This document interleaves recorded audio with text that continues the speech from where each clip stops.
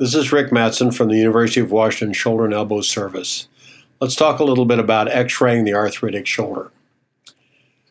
We plan our shoulder joint replacements using just three plain x-rays. The first is shown on the left is an AP in the plane of the scapula, which shows the joint. We also take an AP of the humerus, which shows us the arm bone to make sure there are no surprises there. And then on the right, we have what we call the axillary truth view. So the first view is the AP in the plane of the scapula, sometimes known as the Grashey view, and that is taken by orienting the beam 30 degrees uh, internally to the plane of the body, and that actually puts it perpendicular to the plane of the scapula. So the cassette is put flat on the back of the shoulder blade and the beam perpendicular to it, we like to have, if possible, the forearm at 30 degrees angle with the uh, plane of the x-ray. And this is the kind of view we get, and it gives us a lot of detail about the arthritic anatomy. It also gives us an idea about the amount of medialization. We talk about the lateral acromial line, which is this red line, and we compare that to the lateral tuberosity line shown here. You can see that if the humerus is medially uh, migrated, it will show up as very little distance between these two lines. And often we try to restore that line with our shoulder joint replacement. The next x-ray we use is an AP of the humerus, and this needs to be taken far enough down the arm to uh, cover the area where our prosthesis may sit to make sure there are no uh, unexpected surprises of shape of the arm or of prior hardware. And the third view is what we call the axillary truth view, which is taken uh, with the arm in abduction away from the side. And this shows the AP position of the humeral head in relation to the glenoid. And it's important that this be oriented properly so we can see the what we call the eye or the spinoglenoid notch is shown here. So here's a good example of a truth view, and here's the spinoglenoid notch, and we can see that the this particular glenoid is not retroverted, and we can see that the humeral head is centered into it.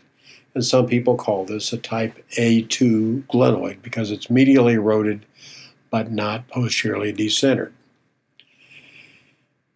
Again, when we take the, uh, the axillary x-ray with the arm in a standardized position of abduction, we get a chance to um, identify functional posterior decentering. So here with the arm up, as is shown here, it slides into this posterior concavity.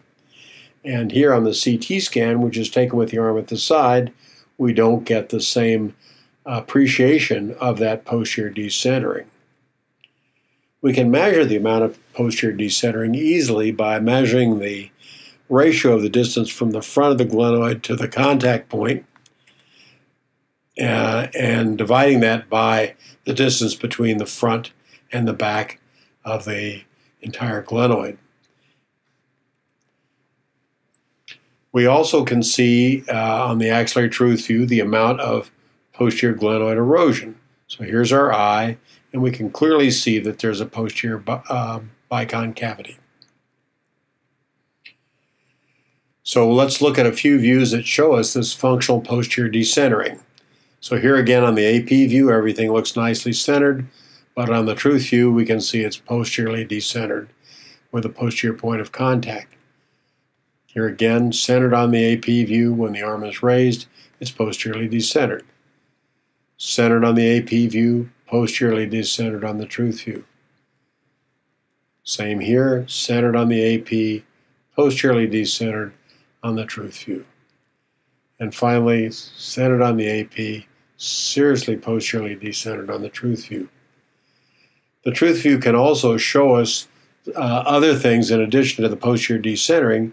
For example, here was a large posterior osteophyte that uh, made dislocation of the shoulder very difficult at surgery, but at least we have advanced notice of the uh, osteophyte in the back there. So we were prepared to deal with it.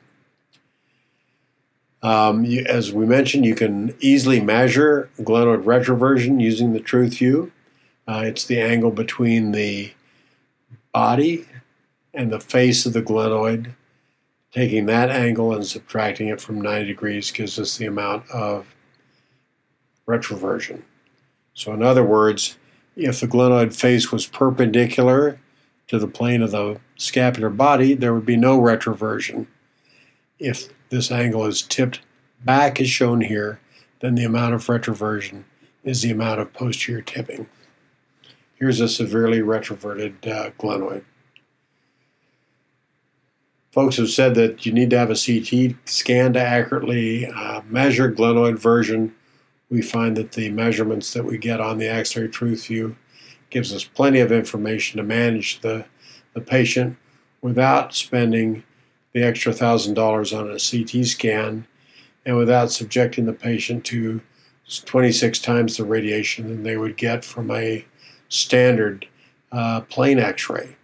So we think it's more safe and more cost saving um, for the patient to use a standardized axillary truth view rather than a CT scan.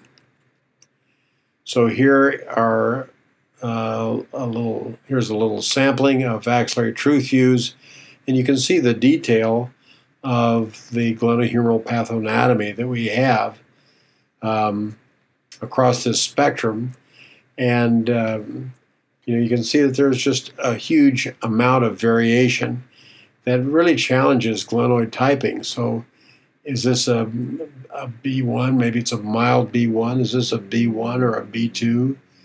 Is this a a B2 or a B1 or is this a, a B2? So to me, it's just easier to look at the axillary x-ray and you can pick up the amount of decentering, the amount of retroversion, and the amount of biconcavity.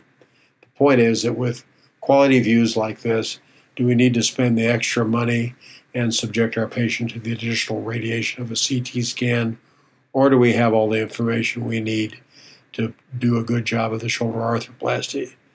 We believe that the axillary truth gives us everything we need to know. So, again, in conclusion, just three x rays to evaluate the arthritic shoulder, an AP in the plane of the scapula, a view of the humerus to look for deformities or hardware, and then the axillary truth view. Thank you.